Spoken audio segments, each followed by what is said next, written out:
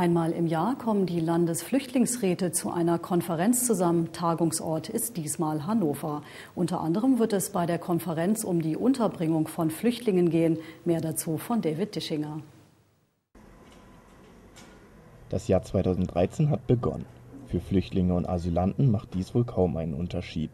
Viele müssen weiterhin auf Aufnahme, Integration und Unterbringung warten.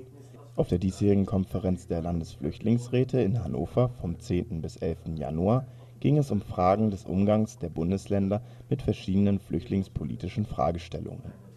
Wir haben zum einen gesprochen über den Umgang mit äh, Roma-Flüchtlingen. Wir sind hier der Meinung, dass Niedersachsen dem Beispiel anderer Bundesländer folgen sollte, äh, einen Winterabschiebungsstopp zu verhängen. Menschen, die in Baracken ohne Strom und Wasser äh, außerhalb der Großstädte ohne Anbindung auch an Verkehr überleben müssen, die sind in struktureller Gefahr, namentlich die Alten oder die Kinder. Und wir wollen erreichen, dass diese Menschen jedenfalls in dieser Jahreszeit nicht abgeschoben werden. Dem Flüchtlingsrat Niedersachsen ist klar, dass sich zum Vorjahr noch einiges ändern muss. Bei der Landesflüchtlingskonferenz wurde über solche Veränderungen diskutiert und auch Forderungen an die Politik gestellt. Wir fordern einen grundlegenden Umgang von Menschen, die hier um Schutz und Asyl nachsuchen.